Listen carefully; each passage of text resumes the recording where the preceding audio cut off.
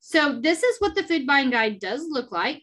And we get this question a lot. Um, you can find a copy of this book in um, CACFP if you go to the resource library. Schools, if you go to other documents, CACFP, it's under meal pattern requirements. And schools, yours is located under the food buying guide section. You can also get one online if you just type in food buying guide, it will pop up.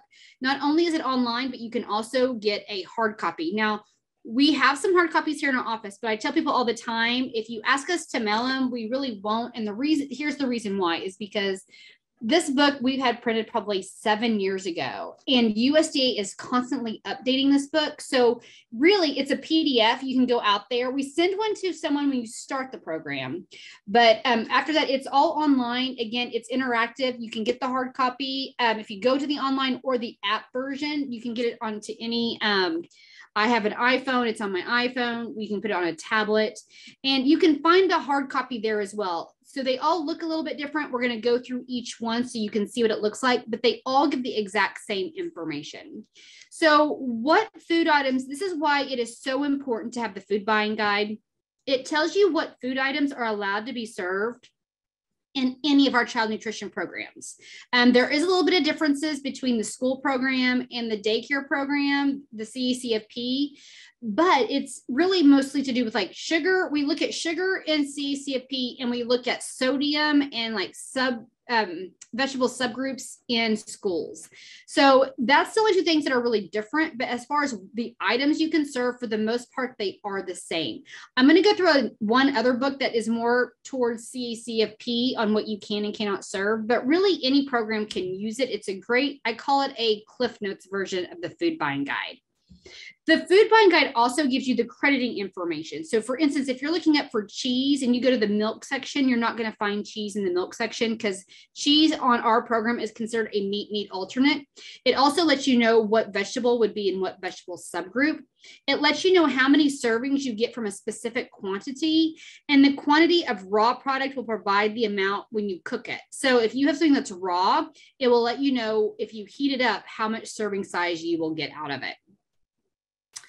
So, what is the food buying guide? It will help you buy the right amount of food and purchase it in the most cost effective manner. It will also in here, we have information. We call they call this like the yield table, the yield data, but there are over 2,100 food items in here. So, you have quite a variety of food items that you can serve um, on uh, any of the child nutrition programs.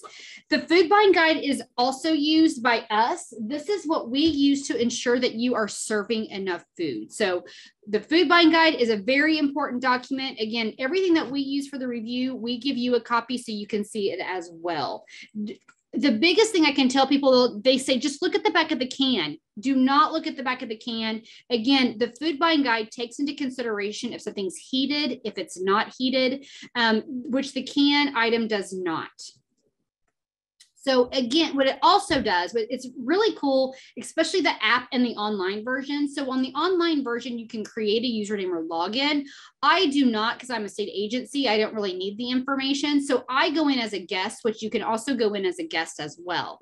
But if you do have a username or login, and then if you use it on the phone, on the online version, the interactive and the app, you can compare food items. So maybe you're at the grocery store and you always buy 80 20, but then they're out of 80 20. So maybe you're thinking about buying 90 10 or 85 15. You can go to the app or online and you can compare the two to see which one you may want to do.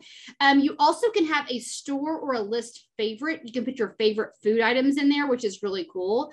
And then you can also on the app version and the online. So in the fruit and vegetable section um, on the hard copy, you can't change anything. But if you go to the app or online version, you can change the serving size of fruit or vegetable a lot everything in the food buying guide is in one fourth cup servings. Most school districts are going to serve a half a cup as the smallest that they're going to do. So they can go in there you can change it from a fourth of a cup to the half of a cup and it's going to change. So instead of saying like you need 35 39.5 um, one fourth cup servings for that number 10 can it will tell you how much it will give you of a half cup serving. So it's really cool so you know precisely how much to open up. You can also do a recipe analysis. There's also talks about the usda CN labeling program, and there's a lot of other resources in the appendix. So it's a really, really neat book. It gives a lot of information, but I will tell you, when I first started on the program, that was the hardest thing for me to learn was the food buying guide. So I'm going to go into more detail and hopefully describe to you what it is, the food buying guide is, kind of how to read it a little bit better, um, and give you some any inf- other information that I can give. So again, it doesn't matter if you're feeding 10 people or a thousand people, the concept of this book is still the same. So the information in the food buying guide, we talk about it's all about the label. Everything in the food buying guide has what we call a standard of identity. So I'm going to give you some examples of this, but when we talk about standard of identity, I'll talk more into depth about what that means. But in the food buying guide, if it's creditable or not, if you can serve it. So there is an, a column in the food buying guide that's called the food as purchase column. It's called food as purchase. So if you go in there and you look under the food as purchase column and the item that you're wanting to serve on the label, it says exactly what it says in the food buying guide in that food as purchase column, then you can serve it on um, child nutrition, any of the child nutrition programs. If it is not in there, if it's not exactly as stated in the food as purchase column, you you cannot serve it unless you have a CN label or a product formulation statement. If you do not have either of those, then you are not allowed to serve it on CACFP or on um, the National School Lunch Program and or summer feeding. This is for all child nutrition. So again, it has to be in the food buying guide for you to be able to serve it. If it's not, then that's when you have to have a CN label or a product formulation statement.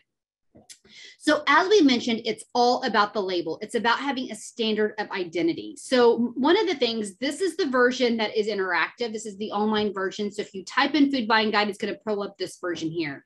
This is one of my favorite examples to pull out.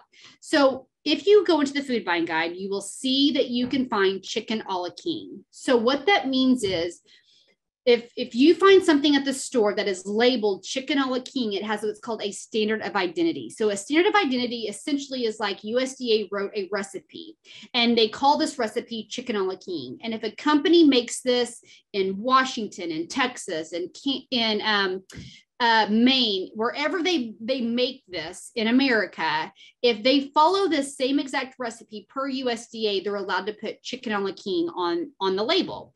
If they do not follow it directly, if they change a little bit, if they change a couple of ingredients or add more of an ingredient or less of an ingredient, they're no longer allowed to call it chicken a la king. They have to rename it something else. But if you find it in the food buying guide, it means it has a standard of identity. It means this company followed a recipe by USDA in order to put that name on the label.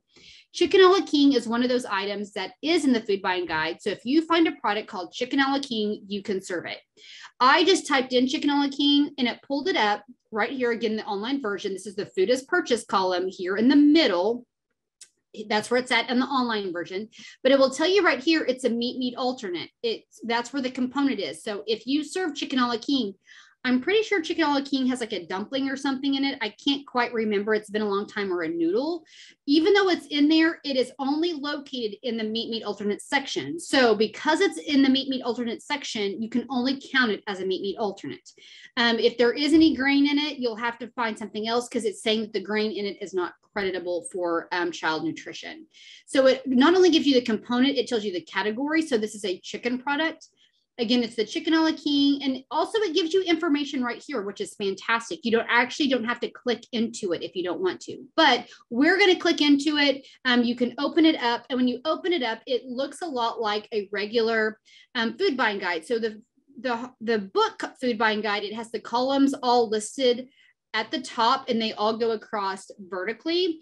Um, but if you go into the online or the app version, it they all go, they go down horizontally, but it's the same exact um, columns.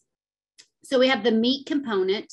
It is under poultry. It's a chicken product. So it, what it says is chicken a la king. If you buy it by the pound, you get 2.3 servings per purchase unit. So if you serve three fourths cup serving, you get 1.3 ounces of cooked poultry. If you need 100 servings of this, this is what this next uh, column says. If you need 100 servings, you have to you need to open up 43.5 pounds of chicken a la king. So you can serve chicken a la king, but you have to serve a lot of it and it only counts as the meat meat alternate. You would still have to serve something else as the grain. So it may not be effective for you to do that.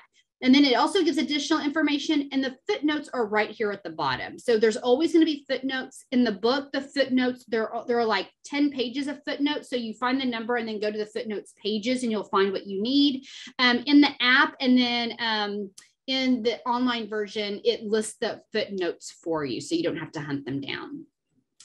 So one other thing that we look at quite a bit is creditable lunch meat. So lunch meat, and this is the lunch meat I'm talking about. You go to the grocery store and you buy lunch meat. Um, so here's the food is purchased column, and we have all these hams right here. You can also click on footnote and it will take you to the footnotes. But again, as you saw, if you click into it, um, it will open up the footnotes for you. So we have all these hams. And a big thing that we have is with lunch meat, especially people serving ham and turkey. So if you want to serve those, I'm going to give you some helpful hints and some things that we see quite a bit. So when it comes to lunch meat, we have all these meats in the food buying guide. Um, so I had a center send me this. They went to a store and I, it looks to me like they went to Sam's. They went over by the cheese in the meat section that's already pre-cut, um, pre-packaged. And they pulled this and they said, Hey, does this meet the requirements? And I said, Well, what in the food buying guide? What do you think it is? And they pulled, they gave me this one. They said, Well, we think it's this one, the pork mild cured, fully cooked, chilled or frozen ham with natural juices, boiled without bone. So I looked at it. I only have the front here. I looked at the back as well, but I will tell you that this did not meet, it was not creditable. And the reason why is because, yes, it does say um, ham with natural juices. It says that right here in the back on the label, it did say pork as the first ingredient. Um, it is chilled. It says keep refrigerated. So this is chilled. It's not frozen. Um, and it, I I would say it is fully cooked. It doesn't say it on the package, but nowhere on the package does it say it's mild cured, and nowhere are we seeing anything that says boiled. So you do, it has to match the label exactly, and we're, it doesn't.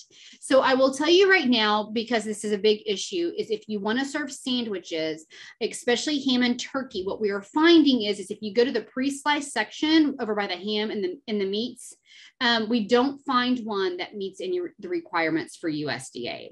Some may meet requirements, but you have to go to the deli section and we would say you have to have a copy of the label. And then you need to show us in the food buying guide if it does meet. Now, turkey, the only turkey that is allowed that we have found um, is if you buy a whole turkey and then bake it and slice it for sandwiches. Now, you can find some CN labeled items. So if you can get anything CN labeled, or like we have a lot of schools on today, if you get anything from USDA foods or commodities, um, you can use that. Anything from USDA foods works. If you have a vendor and can get anything CN labeled, it will need to have a CN label. What we're trying to show you is there's really no credible um, especially in the pre-slice section. It's in the food buying guide because there everything can have its own standard of identity.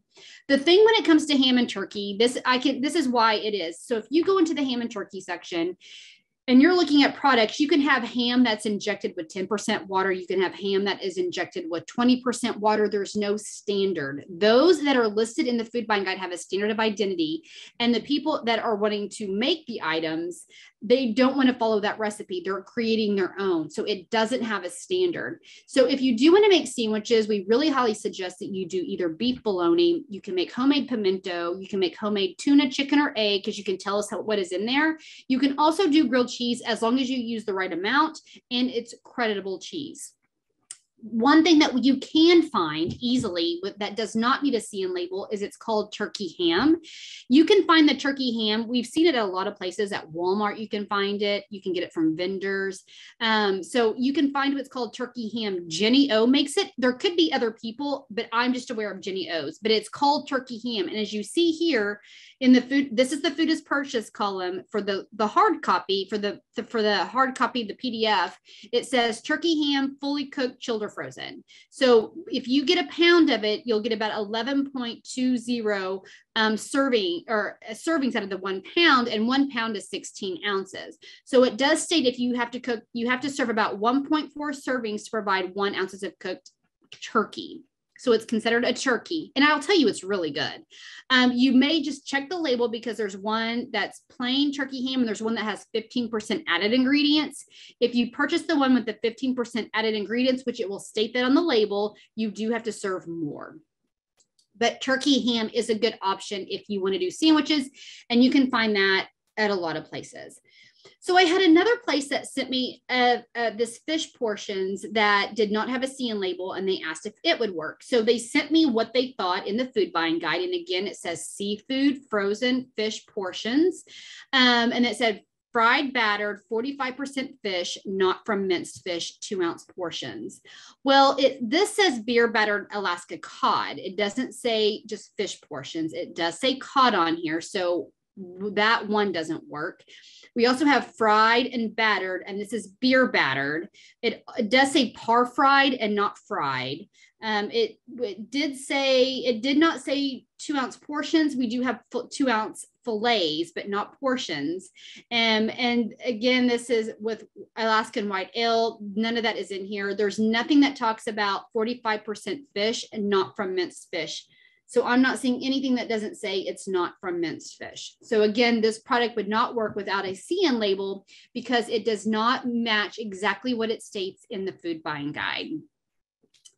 Um, these are some items that we commonly see people serve that don't have a standard of identity. So if you want like a ravioli, barbecue beef and pork, if you want to make your own barbecue beef or barbecue pork, you can't buy it in a container that says barbecue beef, barbecue pork. That's what we're talking about.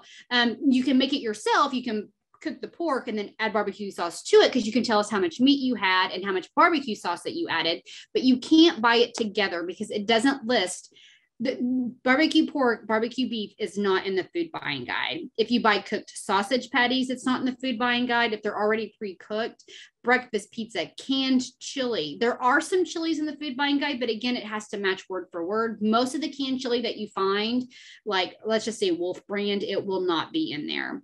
Um, a regular bologna, regular hot dogs are not in there, potato chips. Um, again, just make sure fish sticks, like we said, there's some fish portions in there. There are some fish sticks, but most likely the fish stick that you are serving is from minced fish and is not 45% meat from fish. So you have to make sure again that the label matches the food, what's in the food buying guide. If you do want to make some items um, that are pre-made, example like pizza, burrito, chicken, if there's anything that has items that are two or more, again, you can look in the food buying guide. There are some that are in there, but again, if the lay if the if it does not match the label, then it you cannot serve it unless you have a CN label or a product formulation statement. If you're not familiar with what a CN label looks like, this is a copy of one. This is one that we have created to show you. Um, it has to have all this information and it has to be on the package or the box. You can't just um, go to the internet and be like, I bought this Tyson chicken strip from Walmart. Right now, we are not finding any CN labels from Sam's, Costco, Restaurant Depot, any of those, we're not finding CN labels at at this point. So if you do have something with the CN label, you more than likely will have to buy it from a vendor. And a vendor is someone like US Foods, Sysco, Keith, Tankersley, Mid America, Gadarian, any places like that that has a, a truck that delivers items to you. It has to have this border with the CN. Um, it does have to have the meal contribution statement Again, the six digit number is listed right here. This number is what you would put on your production records or your menu to serve form because we have to make sure we pulled the correct CN label. Because sometimes you could serve three different ch chicken nuggets in a year um, just based on availability, uh, preferences. Um, it does have to have, again, this food and nutrition service statement. It will have the CN. And then the month, this right here is the month and the year of it was approved by USDA. What happens is is a company sends their product directly to USDA. USDA analyzes it and then sends it back to the company with the label of what they could put on there. If they change one tiny formulation with the product, they are not allowed to put that CN label on there anymore. They have to remove it and have their product reanalyzed. And it's it's pretty pricey for them to do that. That's why CN label products are more expensive. This is another example of a product on the box. Um, right here, again, here's where that six digit number is. What people get confused about, this is the number you write on your menu as served or production records. The one here at the top of the box, that's the product number. That's how you order it. We don't need that number. We need the number right here in the box. That is what we go by. Um, USDA also has a website that can let us know if anything's expired or anything like that. Um, so we go by the CN number, not by your product number of how you order it.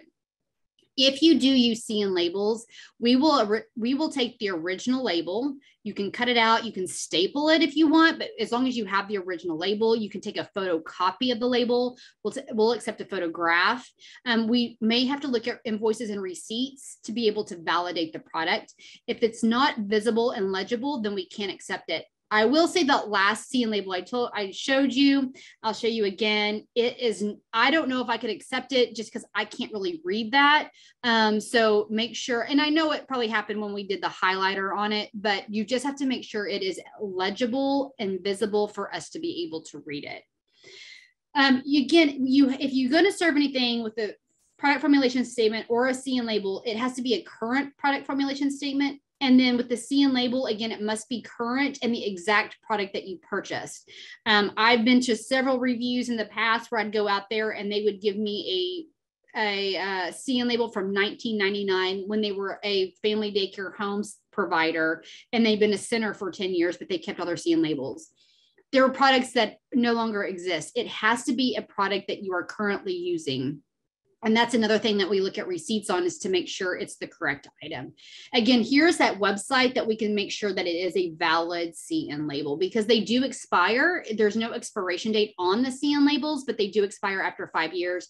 Now, we have all seen some that were not on this list um, that have been expired, but you they still had product. So um, we have seen that before. Um, don't worry too much about that, but uh, we do, we will sometimes reference that that website. So if you're serving USDA foods commodities, these are for my school districts. USDA foods are allowed to be served on any child nutrition program.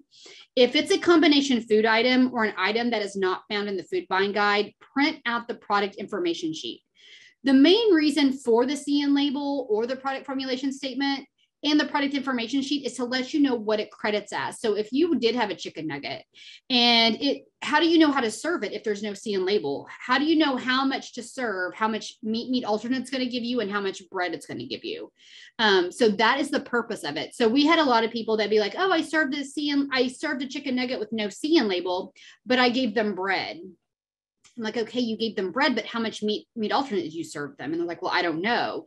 That's because there's no CN label we have to have that because you we have to know credit for both items, not just one for one. So now let's go into more about the food buying guide, how it looks, how to read it. Um, the food buying guide is divided into several sections. There's a meat meat alternate section, a vegetable, a fruit, a grain, and a milk. We also have some appendix, which the appendix is really well done. And then we also have a section called other foods. Now at the top, so if you find something in the grain section, it's considered a grain. You'll find beans in the vegetable and the meat meat alternate because it can be used as a bean or as a vegetable. We have what's called other foods. We don't have a component called other foods. If you find something in the other food section, it and it will tell you in there this is not creditable, it's not towards the reimbursable meal. But what happens is, is you may have a school district that serves rolls and they want to serve butter with those rolls and they are going to be serving 500 rolls that day. It has butter back there. It has things like cream cheese, because it's stuff that you may want to serve with your items so kids will eat it but they're they're not creditable food items. So you can't use it as part of the reimbursable meal. We've seen cream cheese quite a bit the last couple of years. Cream cheese is not a cheese we consider a fat. Bacon is back there. It's not considered anything. It's just an extra. So if you find anything in the other foods it does not count for child nutrition. It's just extra items but it lets you know how to purchase it um, to in the amount that you are wanting And that's why we also like my book for the food buying guide. That's why I say use the newest one out there because in my book it has popcorn and other foods, but now popcorn is allowable. And the reason they're also always updating it, they're changing the formatting to where you can like change the serving sizes and stuff. But what's also neat is that periodically they'll change like popcorn was not it, it was an extra and now it is considered a grain but they also like for instance if you go into the food buying guide uh mandarin oranges are in there but it's only in a number 10 no it's only in pounds but most of you do in number 10 cans so we're waiting like they'll periodically add stuff like that like what is the yield for a number 10 can? So that's why they update it frequently but it's things like that. It may not be so much food that they're adding. Sometimes it is. Um, but if you sometimes have questions, like there's sometimes we did get a question this week um, about dragon fruit. So dragon fruit is not in the food buying guide, but I cannot see USDA not allowing dragon fruit because it is a fruit. I mean, I could see more things on the meat side, some of the grain side, but not a fruit. So it's not in there. So we're going to reach out to USDA regarding that. So if there is something that you do want to, to purchase and you want to serve, especially like a fruit or a vegetable, and you cannot find it in the food buying guide, please contact us and we will see what we can find. Sometimes things are under a different name. Um, so that's why sometimes when you search, it can get a little bit hard, but make sure just reach out to us and we can see what we can do about that. Because I would allow someone, if they want to serve dragon fruit, I would say go for it because it's something very, it's something that they won't get all the time. Um, so again, this is the food buying guide. We talked about the yield tables. So if you do want to go, if you go into the app version or if you go into the online version and you want to look at it where it looks just like the book, click on in the app version, click view yield tables. And if you're in the online version, click on the PDF version and it will show you the hard copy. You can print it off, you can save it, but it will also look exactly like the main book if you want to do that. So this is the book. The book is pretty colorful. This is the hard copy. Again, you see the fruit is purchase column right here at the front. And I'm going to talk to you about how to read the food buying guide. So this is ground beef because I think every entity does serve ground beef. So as you can see here, we have ground beef, fresh or frozen, 24% fat, 20% fat, 15% fat, and 10% fat. So the most common is 80 20.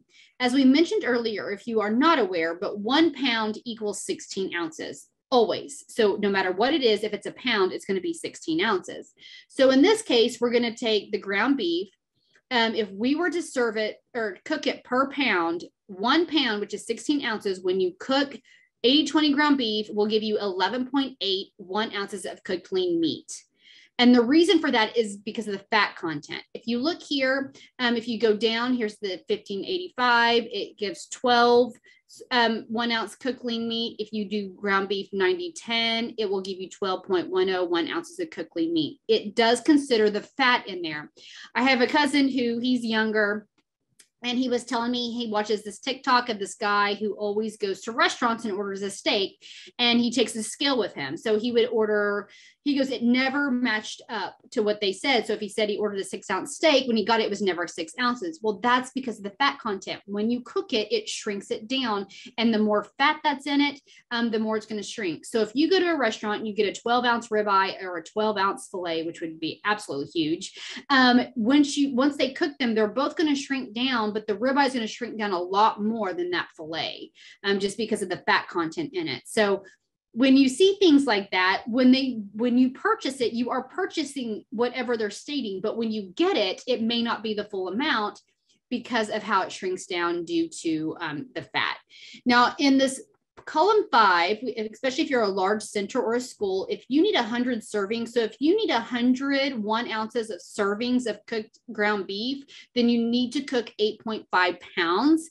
And then this is just additional information right here now, throughout the food buying guide, um, in the manual, in the hard copy, you'll have a white section and a gray section. So this gray section right here, what this is, is it's again, it's per pound, but per pound, they're saying you get 7.89.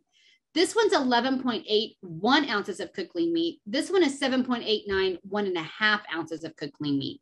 You might be a Head Start program and all you have is three to five year olds and you do nothing but cook for um, one three to five year olds that need one and a half ounces of cooked lean meat. So they give us, they always give a second option all throughout the manual. So in the manual, one will be the white section and one is of a grade section. Now, when you do get to the app and when you get to the online version, they have they kind of list them on top of each other. The top one is usually going to be the white version. The white version to me is mostly it's the most common, um, but they do have another, and it's that way throughout. Um, we have the fruit and vegetable section right here.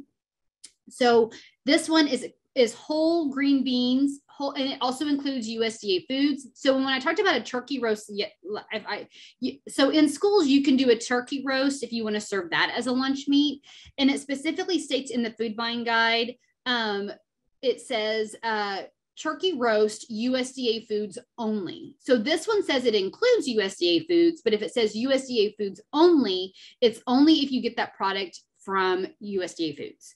So it's kind of interesting how it does say, but if you do get commodities, um, you can also include that into this category. But again, we're talking about whole green beans. As you can see here, we have flat green, Italian, whole, canned. We have flat Italian frozen whole, and then we have green beans cut, and that includes USDA. So you really have to find the exact product that you are serving. But up here, we're doing the whole green beans, and we have the number 10 can, and it says a number 10 can will give you 39.5 one fourth cup heated drained. Now, this right here in the online version and in the app, you can change this to a half of a cup, a cup, an eighth of a cup, three fourths of a cup. You can change it whatever you need to. Maybe you're doing snack and you want to serve green beans for snack, and you can change this to three fourths cup, and that will give you the correct serving size for everybody. Now this right here, again, if you need 100 one fourth cup servings, it will tell you you need 2.6. So if you change this to a half of a cup, it would change this amount, how much per um, number 10 can it would be less because it would change this from a fourth of a cup to a half of a cup. And then it would also change this, it would double this amount if you change this from a fourth of a cup to a half of a cup. So it really is does some neat things if you go, if you use the app or the online version. So again, right here, as you can see, it gives you two, we have the white version and the gray version. So this, if it's heated, so if you have a number 10 can, you'll get one fourth cups heated. Now, maybe you're doing a three bean salad and it's going to be um, in the refrigerator and it's not going to be heated. So it tells you that this number 10 can will give you 52.2 one fourth cups drained. So one is heated and one is not heated. So that's the big difference because again, when you heat something, it plumps it up. So it has, it gives you, yes, less yield where when you have less, it shrinks it down so you can get more out of the container. So that is why this book is very important. So if you, if we come to your center or to your school and you're say you're serving green beans for lunch, we're going to use this one, assuming that you're heating it. You do need to let us know if you're not heating it if you're just opening up the can and serving it because it does give you two different sizes. And if you're doing this one down here and we base it off of this one up here, we there's a good chance we would take meals back because we didn't think you served enough. So we're going to assume you've heated green beans up for lunch, but if you do not, you need, need to let us know. So now we have the app. So all you have to do is go into either the iTunes or if you go into Google Play and you just type in USDA uh, food buying guide and it will pull up an app. A lot of us consultants use it because we don't have to lug around the big manual. And I know there's 2,100 food items in the food buying guide and you're only using a small fraction of them because there's items in there like tripe and ostrich, venison. There's all kinds of foods that you can serve in there. Um, and like I said, there's other foods that you can't find like dragon fruit we haven't been able to find. So what I did is I opened up the app and I typed in ground beef. And as you can see here, it says ground beef, uh, 30% fat. So this is the 70, 30, 70, 30. There's two of them in here. Again, this one would be like the, the version in the white, and this is the gray version. So you're going to see multiple. So more than likely, you're going to want to click on the top one, um, unless you kind of do things a little bit different. Um, you'll want to click on the second one, but it does give you both options. It's just they're in two separate formats. So I did the normal one that we went to. I went to 80 20 ground beef. I clicked on the first one, not the second one, because I wanted the white version where it does the one ounce, not the one and a half ounces. And it gives it gives us the category, the subcategory. Um, again, it's beef, ground fresh or frozen. And then um, the purchase unit is by pound. It gives me 11.8, one ounce cooked lean meat. Again, it tells me I have to cook 8.5 pounds to get 100 one ounce servings, and then a little bit of additional information. Now, right here where it says select, you can click on that, and that's where you can compare the item or you can add it to your favorites. Maybe you want to share something with somebody, you're also allowed to share the item. It's pretty cool. The app is pretty cool. So now let's go to the online version. So this is the one that you can just literally, this is what we do a lot too, is we just Google, like if I was at a center or a school working, a lot of times if my computer's already up, I'm gonna go ahead and just use my food buying guide online. Once you get in there, so like I stated before, you can log in. I go in as a guest and I just put that I'm a state agency person, but this is what looks like when you get in there. You have the home page so if you click on home, you can download the food buying guide. So it'll be the PDF version. There's a resource center. Um, then you can also do meal components. You can look up something. So if you know for sure it's like a cheese or you know it's a meat meat alternate, you can click on meat meat alternate and go there. Um, there's the food items. If you click food items, you can hit search. Or if you do have stuff listed in your favorites, you can just click on your favorites tab and it will go ahead and pull all your favorites up for you. Then you can go to tools. Uh, oh no, I'm sorry, this is in help. There's the appendix as well, and there's tools. So you can click on those. I don't go through them. But with help, you can do the food buying guide calculator. You can do a shopping list. So if you know how much that you need to purchase, you can create your own shopping list. There's also a training video that you can use. And if you do have questions actually about the food buying guide, let's say you want dragon fruit and you don't see it in there you can contact you you can contact them that does the food buying guide directly and there's frequently asked questions or you can contact them and say hey i don't see dragon fruit do you have any yield for that and then they can be able to give you that information so if you want to navigate going through, so what I did is I always go to food items. So this is when I went to food items and then I hit food item search. And then I just typed in, um, you can reset it if you need to. Um, but again, you can just type in your keyword that you want. And you can also um, narrow it down to the meal component. We just did all meal components, but you can put vegetable, fruit, you can do whatever you want to do there. So I did green beans again. This is just cut green beans again, this actually gives you all this information without clicking on it. You can click on the footnotes. I will say there's a lot of footnotes in here. So you can click on the footnotes. You can find the information just right here. You can compare it by clicking add, or again, you can add this to your favorites. So again, this actually gives me all the information I would need. Um, but I did choose to click on it. And when you click on it, it, this looks a little distorted, but it will tell you again, it's green beans cut the number 300 can, which is a 15 ounce can, it will give you five one fourth cup heated servings. You would need 20 of these if you need 100 one fourth cup servings. And again, just here's the initial footnotes. It does let you know that this is another vegetable for school districts. It's not considered a dark green. So there are some newer features to the food buying guide. Um, you can select the desired serving size per meal contribution. Again, for the fruits and vegetable, you can change it from a fourth of a cup to a half of a cup. Again, that's also in the web-based tool and in the mobile app. Um, in the mobile app, you, again, you, if you have a, a, a um, iPad or anything like that, it's good for any of those. Um, you can do utilize grain. So there's method C in the recipe analysis workbook to determine the ounce equivalent grain contribution for all items listed in Exhibit A. And then you can create copies of saved shopping list in the Exhibit A grains items on the mobile app and in the webs in the web on the interactive tool. So we also have some just a little bit of additional information. So this is one of my favorite, favorite, favorite things. This is what I wanted to talk to you about. We did not have this in the food buying guide training, and then we added it because it's re it's really for CACFP. It is more restrictive. Schools can do more than what is listed in this book. But you can find this. We have it in the resource library under the meal pattern section. Schools, we put this in there as well for you. It's in other documents under the food buying guide section. We did put an info sheet on there. So there's things that this is what says for CACFP, but there are some things that you can do. Like they're not allowed to serve a grain-based dessert, which is like a cookie, but you can. And it will say that in there, like, no, this cannot be served because it's a, it's a grain-based dessert. But if it says it's a grain-based dessert, schools can do that. So you can use this. I call this the Cliff Notes version of the food buying guide because it's just a fabulous book. So again, it is broken up in all the component sections, and this happens to be the meat meat alternate section. So let's just say you're here and you're like, hey, can I serve bologna as a meat meat alternate? And it will tell you maybe. And then it gives you information. It says if it's free of byproducts, cereals, or extenders, and when it if it also has a CN label or a product formulation statement it tells you what some of the binders are and what the extenders are um, or byproducts. And it also tells you where to go in the food buying guide. So if it's just regular bologna, it will have by it will have byproducts in it and extenders. Um, if you use all beef bologna or all beef hot dogs, those don't have the extenders, binders, or um, uh, cereals in it. So that's why you're allowed to serve those. Um, so also, let's just say you wanted to serve beef jerky as a snack. Can you serve beef jerky? And this is for all meals, not just for like snack or, but let's just say beef jerky more commonly, if you want to serve it, be it snack, can you serve it? And it says no, and it tells you why.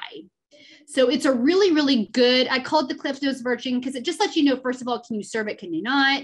It says yes, no, maybe. And then it lets gives you more additional information. So these are just some common meat meat alternates, and this is the serving size, just as kind of a cheat sheet. So if you want to serve peanut butter, two tablespoons equal one ounce. If you want to serve yogurt, four ounces equal one ounce.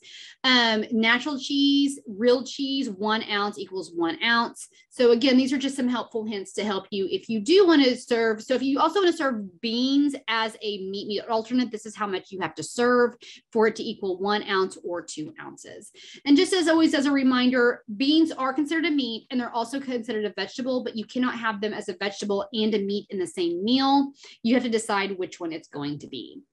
So using the crediting handbook, what I do love is you have things like this, which is imitation cheese or cheese product. Cheese products are those cheeses that melt really well. It says it here, this is in the meat meat alternate section. Can you serve it? And it says no, and it tells you why you cannot serve it. Again, this is for all child nutrition programs. I don't go really a lot into the grains because that's where it differs is the grains for CACFP and for the schools. Also, there's sugar requirements for yogurt, which the schools do not have as well. So again, it may say that you might be able to serve a yogurt, but it just depends on the sugar amount, which again, that does not apply to schools. We see this one quite a bit as well. We see potato chips or veggie chips and it says are these creditable and it's no. Potato chips and other vegetable chips contain different variations. If you do want to serve a chip you can serve either those that are potato or not potato i'm sorry. If it starts with a corn or flour um, that's what you can serve. So you can serve like corn chips doritos cheetos fritos sun chips and then flour, uh, flour or tortilla chips. Anything that starts with a flour or a grain or corn, and corn is considered a grain. So if you serve those chips, it doesn't count as a vegetable, it counts as a grain item. This also gives very helpful hints about what is like an average size banana and an average size orange. And I'm not talking about the mandarin, the normal size orange. If you serve an average size medium, it will give you a half of a cup. It's because of all the peeling on there. If you serve an apple, about one medium sized apple is one cup. Again, it's just, this is so good with helpful hints. And especially if you have new staff, um, it just, it's very helpful. Can we serve this? Can we not serve it? And it's a great book for them to start using to see if they are are able to serve it or not. Now, the, if you do fruits and vegetables, so if you do raw leafy, so if you want to do like anything raw leafy, salad, spinach, anything like that, you have to serve double to equal. So if you want to serve a cup, it will equal a half a cup. And if you think about it, if you take spinach and you microwave it down, it shrinks up a lot. I just say it's so fluffy, you have to serve double of what you want it to credit as if you do anything dried, like a dried fruit, um, like a raisin, it's it's dehydrated, so it shrank. So if you were to reconstitute it, it was plump up. So if you serve a fourth of a cup of raisins, cranberries, if you serve a fourth of a cup, it would actually equal a half of a cup. So you actually get more yield out of dried fruit.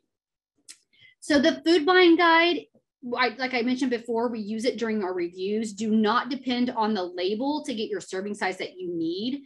Again, the food buying guide takes in consideration if it's heated, if it has juice, fat, all of that information. It, that doesn't tell you on the back of the, of the can whether like if it's a like that yields this if you heat it, it yields this if you don't.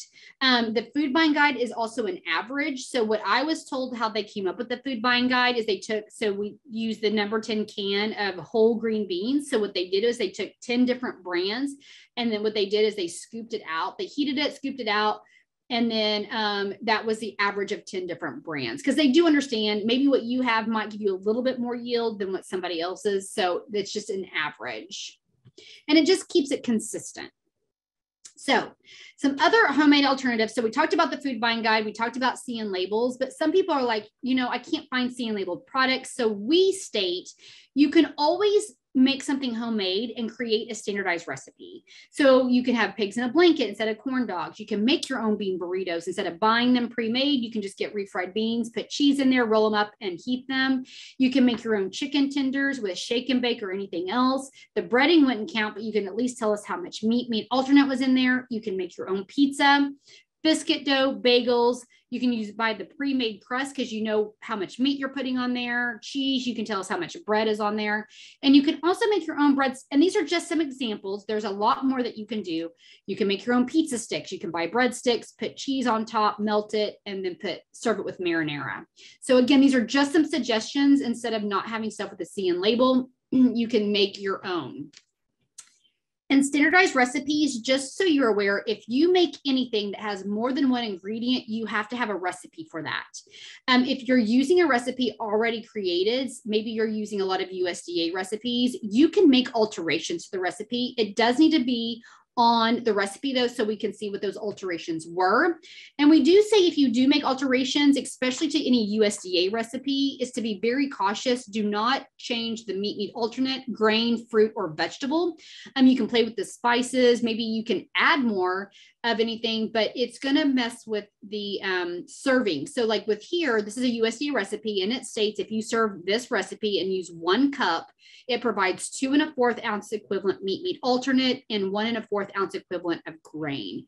So that's what's great about the USDA recipes is they they tell you the recipe and then they tell you how to cook it and prepare it. And that way you know everybody's getting enough. This is an example of chicken Alfredo with a twist. This is a USDA recipe. This is from a child care. A lot of the daycare and school recipes are the same. A lot of times what's different is the serving sizes right here is one is for 25 servings, one's for 50. School recipes seem to be, I think for 100 or 200 or 50 and 100. I can't quite remember. But like right here, their kids don't like rotini. So instead of doing rotini pasta, they changed it out for spaghetti noodles, but they kept it the four pounds. Um, they don't use white white ground pepper. They just use regular pepper. So they mark that out. And then their kids don't like as much pepper. So they did one teaspoon of pepper. And then they, but their kids really like garlic powder. So they doubled the garlic powder. So see, you can make changes to the recipe, just indicate it on the recipe. And not just that, if you're out and you can't cook that day and you know how the kids like it, and then someone cooks this and uses the recipe just as is and the kid they're like the kids don't like it you want to make the recipe to where the kids like it and will eat it so you can make any alterations you need to. Another thing about USDA, you could get some USDA standardized recipes. Um, we have the Team Nutrition, which we re we've been re recruiting for a long time. We have the Child Nutrition Recipe Box, which we found is new. And then we also have healthy school recipes. And daycares, again, you can use some of the things, but if it's a dessert type item, you probably cannot do it. But you can use a lot of the recipes out, out here as well. I will tell you about this healthy school recipes. I found it by default. Another one of our consultants specialists found it by default as well. This healthy recipe school book is so cool. So you can go in there and it has recipes from school districts and it also has recipes from USDA. But what I like about it is I was in there looking at a spaghetti recipe, a USDA spaghetti recipe, and I clicked on it. And when I printed it out, it was like for 100 servings i needed it for 475 so it let me change it from 100 to 475 and when i did that it changed the whole recipe for me. So it let me know how much to prepare how much i had to cook. Um, it so i didn't have to do the math. It is phenomenal if you're a school district and you have a recipe that you really like and you want, they will, you can submit it to them and they will standardize the recipe for you.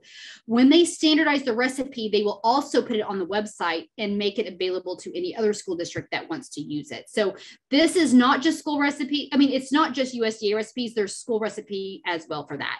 Um, I don't know of any place you can actually purchase recipes. They're all just online anymore. If you just click to these links and you can just click on them and then print the ones that you want out. We haven't seen anything that you can just do a, a, a recipe book like they used to do. Um, but you can go through and see what you might want to do and what you may not want to do. Um, but it's just really really cool. We've asked got that question a lot but we can't like we've searched for it and we cannot find a recipe book.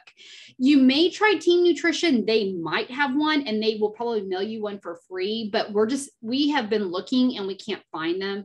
And plus like with usda recipes they're adding new ones all the time. And then some of these also has school recipes as well. Um, the child nutrition recipe box and team nutrition have both CACFP and school recipes, but the healthy school is really mostly just for schools, but daycares, you can use it as well. Um, but go in there, they have some really cool recipes that some schools are doing across the nation. Well, that is um, the food buying guide for today. I do want to let you know if you have any questions um, to go into the manual. Uh, I need to update this pages. I just got finished with the with the daycare manuals. So um, call your consultant, call your program specialist. We've changed their name. If you have any questions, um, again, your specialist, especially if you have a product formulation statement, if you have questions about your CN labels, if you have questions about some food items you want to purchase, definitely contact them if you're not finding it in the food buying guide and like I said, I'm about to email the food buying guide myself regarding the dragon fruit because people want to serve it and it's a fruit. I mean, dragon fruit's a fruit. So we just don't know what it yields, but I'm sure I don't know if USDA is working on it. And I'm wondering if that's how they put products in here is based off people using it. So, you know, if you have mandarin oranges and in there right now is only by pound and you use a number 10 can, we need to let them know so that way they can keep updating the food buying guide based on products. And a matter of fact, we were looking at it and talking about some products because they're even changed the sizes of cans. Like, um, you know, there are some in here that says a 15 ounce can, but you really can't find a 15 ounce can anymore. You can only find a 14 and a half ounce can. So that's why they're constantly changing the food buying guide. So um, thank you guys for being here with me today. I hope you learned a lot of information about the food buying guide. Um, this is one of my favorite things to teach about because the book has been um, very cool. This will be up on the OSDE Connect self pace. Just give us a little bit of time. Um, we just took down the one for 2022, so we're putting up the 2023 one. Um, I'm going to make a little bit of changes just to, like they said, those page numbers to the slide, but this should probably be up there maybe in about a week. Um, but we will get this in OSDE Connect for 2023. We just took down the one for 2022. So again, give us a week to send you out your certificates or make sure it's posted in the training calendar. We have stuff to do on the backside. Um, but thank you guys so much for being here. I'm going to um, be here to answer questions for a little bit, but you guys are free to go. I hope you guys have a wonderful day and a wonderful school year. And I hope you daycares are getting a little bit of a reprieve now that the kids are going back to school. So have a great, great year, and we will see you guys very soon. And also, I do do this training every other month. I've been doing this training every other month. So we do look for it because I do it every other month.